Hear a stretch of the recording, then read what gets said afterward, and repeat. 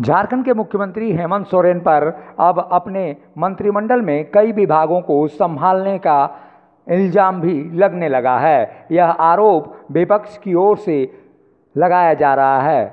विपक्ष की पूर्व शिक्षा मंत्री नीरा यादव ने यह आरोप लगाया है कि मुख्यमंत्री हेमंत सोरेन कई विभागों को एक साथ रखे होने के कारण विभागों के बोझ अधिक होने के कारण वो विभागों में हो रहे विकास कार्यों का जायजा नहीं ले पाते हैं, ना ही बैठकों को संचालित कर पाते हैं। कई महीनों से शिक्षा विभाग का मंत्रालय खाली है और वो भी मुख्यमंत्री हेमंत सोरेन के ही जिम्मे है। जगन्नाथ महतो फ़िलहाल इलाजरत हैं, वहीं उच्च शिक्षा मुख्यमंत्री हेमंत सोरेन ने खुद अपने पास रखा है। कई ऐसे विभाग हैं, लगभग 20 से अधिक विभाग हैं जिनका मुख्यमंत्री अपने नेतृत्व में कामकाज चला रहे हैं। लेकिन कई विभागों के कामकाज होने के कारण वो किसी भी विभाग में ध्यान नहीं दे पा रहे हैं। ऐसा आरोप शिक्षा मंत्री नीरा यादव लगा रही हैं। नीरा यादव क्या कह रही हैं, ये भी आप सुनिए। मुख्यमंत्री जी के पास सबसे ज़्यादा था वो कैसे किसको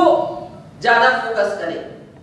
वो सोच ही नहीं पा रहे कि हम शिक्षा को देखें या पुरानी सरकार के कार्यों की जाँच कराएँ।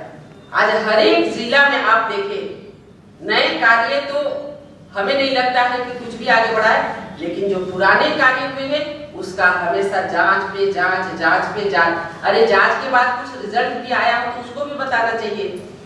लेकिन सिर्फ़ हम पूर्वाग्रह से ग्रसित होकर के कोई सरकार नहीं चला सकते हैं, हम आगे नहीं बढ़ सकते हैं। ये कहीं ना कहीं हमें लगता है कि जनता को धोखा देने का काम है। अभी आपने उनतीस तारीख को देखा कि बड़े बड़े कार्य हुए, उसमें क्या हुए तो कई भवनों का उद्घाटन हुआ, कई कार्यों का उद्घाटन हुआ। अरे, उद्घाटन करने के पहले माननीय मुख्यमंत्री जी, शिलान्यास करना ज़रूरी होता है। हर एक शिलान्यास में तो माननीय हमारे पूर्व मुख्यमंत्री जी, रघुवर दास जी का नाम, उसको आप उद्घाटन करके अपनी उपलब्धि में गिना रहे हैं। तो कम से कम कोई कार्य का शिलान्यास भी तो करिए। आप देख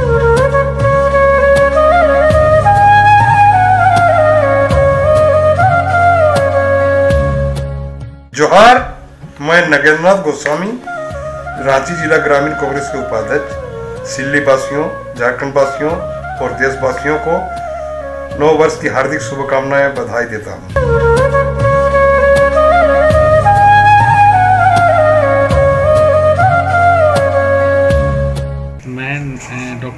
प्रसाद, संचालक सिंहपुर नर्सिंग होम का। मैं समस्त दिल्ली वासियों को और समस्त देशवासियों को नव वर्ष की शुभकामना देना चाहता हूँ। और मैं चाहता हूँ कि लोग शांतिपूर्वक नव वर्ष को मनाएँ।